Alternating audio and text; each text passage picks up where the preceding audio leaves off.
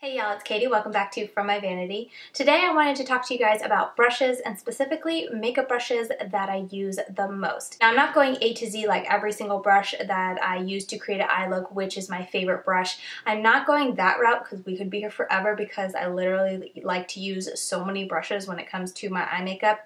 I'm talking specifically about the brushes where if I clean all my brushes, like deep clean them all, put them all back out, it's the first brush that I grab for and use when they are clean. It's the first first brush to get dirty. So I thought it'd be fun to kind of go through and think like which brush, when I see that it's clean, I'm always like, I want to use that over these other brushes. And I grabbed them all out of my brush collection, which you guys always see in my Shop My Stash videos.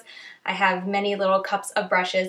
I pulled all of them out and we're going to talk about them here today. Alright, so I figured we would start with face brushes just because I don't have as many face brushes as I do eyeshadow brushes, and we'll start with foundation brushes. Now my number one all-time favorite when I just want to apply a nice even layer, I don't want to get too much crazy coverage, I just want a very even and nice blend to my foundation, that brush is always the Smashbox Stippling Foundation Brush. I absolutely love this, and I don't even know why, but there's something a little magical about this. It's pretty dense, I think, for a stipple brush, and it's not like crazy stipple like they're not super long, but there's still a lot of density. There's a bit of a roundness to the edges, which I really like.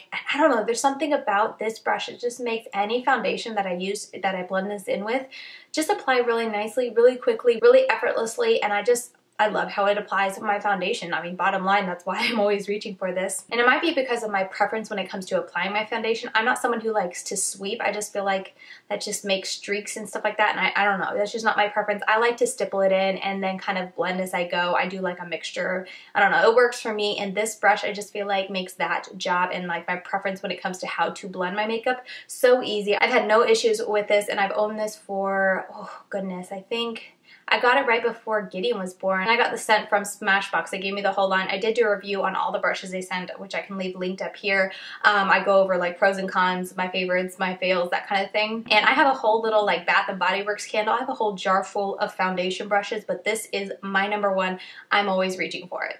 Now if I want a little more full coverage, maybe it's a sheer foundation or I just need more coverage in one area, there is another brush that I will reach for over my stipple foundation brush, but it is the Smashbox Full Coverage Foundation Brush.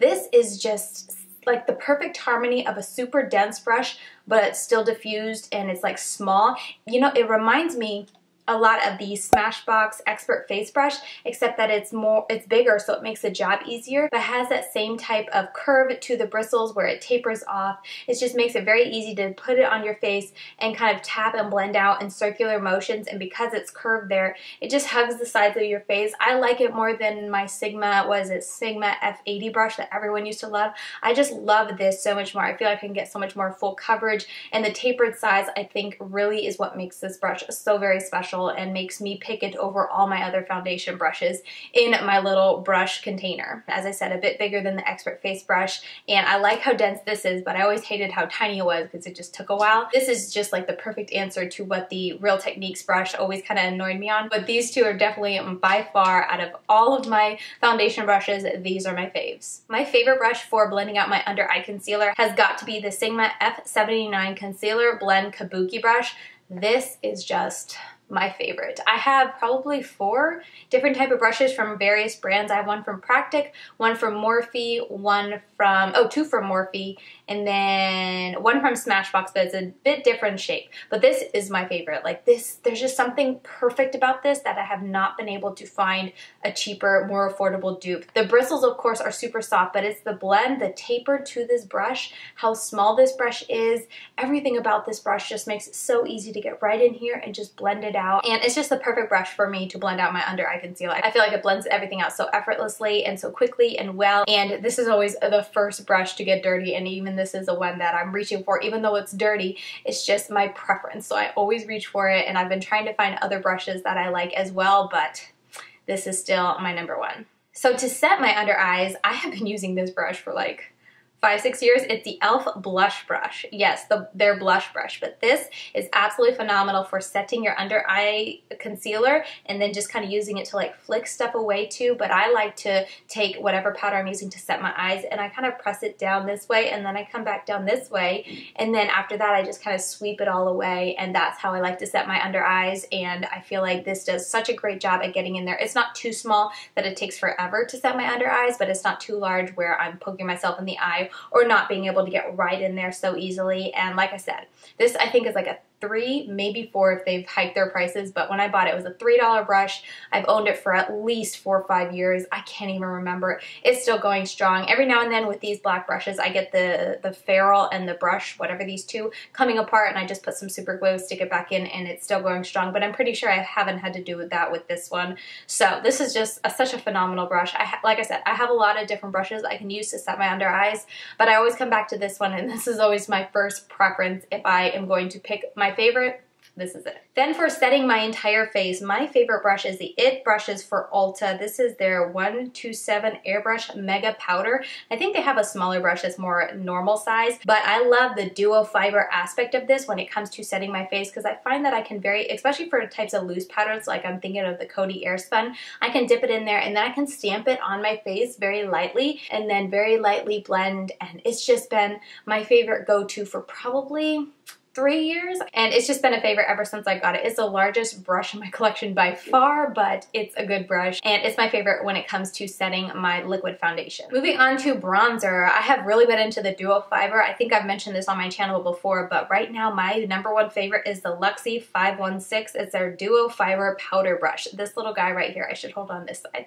Easier for you guys to see. This brush right here is just so nice. It gets right in there because it's so small, but it still like has has a flatness to it. It's really great at carving your cheekbones and you also don't, it's not too pointed as some duo fiber brushes can be. I have one from Stilazzi that I like, but it's a lot more pointed than this and I just don't like it as much. I feel like I'm more blending around instead of with this because it has more of a flatter cut to the top. I can kind of stick it right in here where I want to blend my contour and just really get focused in there while still blending the edges, if any of that makes sense.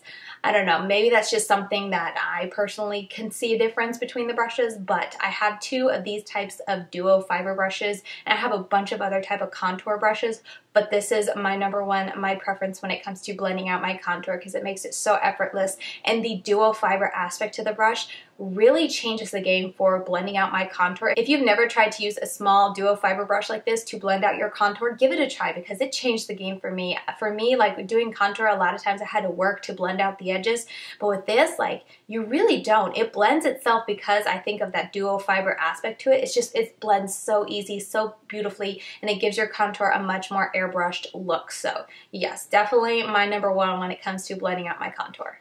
And for my bronzer, I also like a Duo Fiber. This is from Stilazzi. It's their S306 Duo Fiber Large Powder Brush. This, again, is a Duo Fiber brush, and it just makes it so easy to kind of hit the edges of my face and just lightly blend all around very lightly with the, with the tip of this brush, and it blends out so beautifully. Kind of the same stuff I said with the contour, except this is much easier at diffusing around your face. And it's just, it makes it so easy. I really don't notice any of those harsh lines that I could get when I would use regular type of like the typical type of contour brushes and whatnot. This kind of takes that away and ever since, I think the Tayla is who I first heard say that they used a duo fiber for contouring bronzing. I can't even remember. But ever since she said that, I was like, ooh, I have a couple of those brushes. I should give that a try. And ever since then, I have been using only duo fiber brushes for my contour and my bronzer. And then for a highlighter, this is my number one, and I have Angelica Nyqvist to thank for this, but it is the Sigma F03 High Cheekbone Highlighter Brush. I got this in her set. She did a collab with Sigma and came out with a little brush set, and that's when I got this. I had been eyeing this for a long time, and since it was in her brush set, I was like, yes, I'm getting it now, and I have been going hard with this ever since. This is my number one when it comes to highlighter because it's so easy and effortless. The types of brushes I was using before this to apply my highlighter were either a fan brush or something like this, which is a Morphe M501 brush. But I felt like the tapered tip to it just made it very messy when you applied it because it just kind of like flung things everywhere. It was very pointy, so I don't know, it's just, it, it was nice, but I just felt like it would always get things messy and fling stuff everywhere. Whereas this, because of the, it's pinched here, it's very flat on both sides. It has a very nice taper to it. So what I do is I go into my highlighter from the side here and I kind of go back and forth like that and get it into the sides of these br bristles right here. And then I apply it like that and I kind of apply it in a blending motion, blending into my skin and blending it up back here and then just kind of diffusing the edges. And I just feel like I don't get that like powdery puff everywhere and kind of get shimmer and highlighter all over my face like I used to with these types of highlighter brushes. This just makes it very easy and it really does a fantastic job of blending and meshing it into your skin as opposed to just fluffing it off everywhere I hope that is making sense, but ever since I got this brush, like I said, it's been my number one. If I make another Sigma order, I do want to grab another one just to have another one in rotation because you guys know I don't wash my brushes very often, so that's why I have so many different types of, you know, brushes for each job. Over all the other types of brushes, fan brush, more dome brush, those kind of things, this has beaten all those out and is my number one. All right, now moving on to eyeshadow brushes, which we have a lot. So let's talk about blending brushes for the eyes. If I'm wanting something to kind of be the first shade to warm up my crease, the type of brush I like is more of a domed crease brush, and this one from Moda this is the BMX 430 crease brush from Moda, and this is my number one. If this is clean, this is always the first brush I use. As you can see, it's stained because I use it so much, and I've been using it for all the bright colors I've been using on my eyes in recent months, and it's just a phenomenal little brush. I've had no issues with the quality of it or anything like that. I got it in a BoxyCharm at the end of 17, and it's been going strong ever since. I actually just became a Moda maven, like I got on the PR list for Moda, so I'm super excited to try more of them, but I just just, I'm so excited because I feel like this is such a solid brush. I want to try more from them. The quality is fantastic and the price isn't bad either. So this has always been my number one. I also like how it feels. Like it's very NARS packaging-esque for the handle and it's just, it's nice when it's in your hands. I really like it. It's a very nice brush and it's my favorite. It's just so easy because of that nice taper it has to the sides and whatnot. It's not too pointy. It's not too big and fluffy. It just makes it so easy to apply that crease color and really get it well blended out and get the edges nicely blended out without having to struggle too much. So definitely my favorite. Something I've been getting a lot into recently is using a lot more tinier detail brushes because when I feel like when you use more color and you're using more intense color, you need those tiny little brushes to help you out. And my favorite really tiny type of blending brush is the E36 from Sigma. This can get right in there. It's dirty as you can see because I used it today, but it gets right in there and can just blend a color into your crease. I like to use it like today I used a more pinky peach to warm up my crease and then I wanted to take a more of a red into my crease very minutely and blend that up into the first color to get a nice ombre. And this type of brush is ideal for that and I absolutely love it. I have several brushes that are just like this. Um, I think they're from Stilazzi, from Morphe, and from e.l.f. but this is my preference because this just outshines them either in quality or in size or in like how tiny it is. I've been trying to find an affordable dupe for this to kind of really stock up because it'd be nice to have a lot of these on hand but so far this is winning in the size of it, in the quality of it, and how it blends. It's just it's my fave. Another brush that I really like to use in my outer corner to really blend things in is this Smashbox Contour Shadow Brush. It's a really interesting little brush. It almost looks like a flat shader brush, but it has a more blended tip. It reminds me of the popular Sigma E25, except with this brush, it's just a touch smaller, it's a touch thinner. There's just something special about it that I prefer this brush over this brush, and I reach for this all the time for specifically blending kind of things into my outer corner, up into my crease, and wanting to get a nice blend that I don't need a big fluffy brush, but I don't need anything quite so tiny as this. This is kind of a nice middle ground there to get some blending done, or if I need a little bit of blending and then packing, this brush can do it because it's got a nice little taper to the, the edges here that'll allow me to pack it on and then blend it out. But yeah, this little Smashbox Contour Shadow Brush, I feel like once again, it's more of a unique type of brush. It's a unique style. I don't have many like this in my collection. That's quite so tiny and pinched at the ferrule. Again, it's like the E25 except just kind of like a better addition. It's more of my preference and I find myself reaching for this all the time. Okay, so when it comes to packing on shadow into my outer corner, there are a couple brushes that I really, really, really like. One of them being this Real Techniques shading brush. It's this little brush right here and it's a phenomenal brush, especially if you're looking for smaller brushes to help you pack on the outer corner. This brush is phenomenal because it can get right in there and you can just stamp on that color into your crease and then it blends very nicely and I just find that this is a fantastic brush for packing onto the outer corner and blending out. I think I have a couple of these, maybe two or three in my collection and I'm always reaching for these because they're just so, they're really easy to pack on. They're you know, more of a detailed type of brush and I've just been really growing to, as I said, like these smaller type of brushes for my outer corner really packing on and diffusing that shadow. Another brush, kind of the same purpose as the, you know, Real Techniques one, but this is from Smashbox. It's a full coverage shadow brush. I guess you could use it for all over your lid, but it is such a tiny brush. I like it, as I said, for packing on shadow on the outer corner and blending it in. I can do a little bit of crease work, but it is very dense, so keep that in mind. But my preference is for just packing it on my outer corner corner and blending it out. It just makes it very, you know, easy to do. One and done doesn't take a whole lot of blending or a whole lot of, you know, back and forth being super tiny. It's just the perfect size for my crease and I absolutely love this brush. So next for packing matte shadows into my outer corner, this is a brush that I love to use for really packing on that deepest color and really blending it up, kind of like how I have this purplish toned color here. And my absolute favorite brush for that is Stilazzi's L210, their flat dome shader brush. This brush is rarely ever clean in my collection because as soon as it's clean, I get it dirty the next day because it is my favorite for packing on shadow right there into the outer corner, really blending it in and then kind of diffusing it upward. It's so pinched at the ferrule and it's like a short, tiny little brush, but it still has a very nice blend or taper to the sides of the bristles. It just picks up matte shadow so nicely and packs it on there. It is a very, once again, more of a unique brush to my collection and I just feel like it does the job a little bit better than other brushes that I have in my collection. And yeah, ever since I got this from Stilazzi, I basically use it nonstop. If it's clean, it's gonna get dirty very shortly. Okay, so for cut creases, my number one brush that I love to use for applying my cut crease and either putting concealer down or something like that is this Alamar Cosmetics brush. I don't have the number or anything because all the information is basically worn off of this brush, but it's this little flat type of tiny concealer brush and it works so well. I just layer both sides really well with some concealer and then I can just lay it down and because it has this kind of domed shape to the tip, it just applies and helps me cut the crease so well. If you watch a lot of my Instagram tutorials and if I ever do a cut crease, in all the recent months at least, going like three, four months back, this has been the only brush I use when I'm cutting my crease. So to pack some type of shimmer or metallic or foiled shadow onto my lid, I love the Stilazzi Small Shadow L221 brush. I somehow got two of the same these same type of brushes, the L221 brush, and I am always rotating those and those these two are always dirty. Like they're the first brush that gets dirty when I clean my brushes because I absolutely love it. There's just something about this being so nice and tiny. It's really easy to get in there, but it's still got a great taper to the sides of the brush so it's it picks up shadow, especially the shimmer and metallic and whatnot. It picks it up so very very easily, applies it nicely, but because it's not too fat of a brush, it can also be really great when you're placing it down over a cut crease and you don't want anything too fluffy and, you know, ruining your nice crisp line. I find that I can still get that really crisp line without making it fuzzy using this brush. So yeah, this is just a brush that I really like. I have a ton of brushes to apply shimmer shadow to my lid, but this is always my preference and like I said, it's always dirty.